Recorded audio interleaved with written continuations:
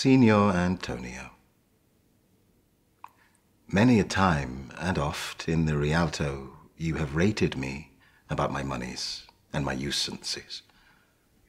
Still have I borne it with a patient shrug, for sufferance is the badge of all our tribe.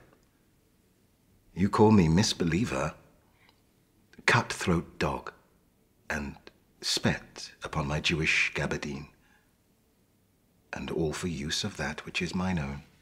Well, then it now appears you need my help.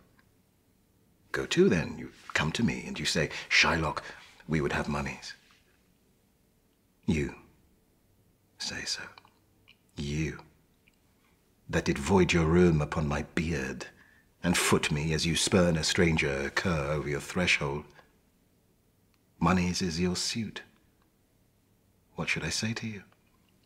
Should I not say, hath a dog money?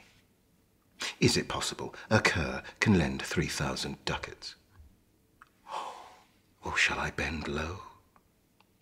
And in a bondsman's key, with bated breath and whispering humbleness, say this, O fair sir, you spat on me on Wednesday last. You spurned me such a day. Another time you called me dog.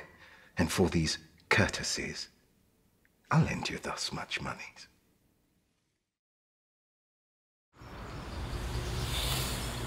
All the world's a stage, and all the men and women merely players.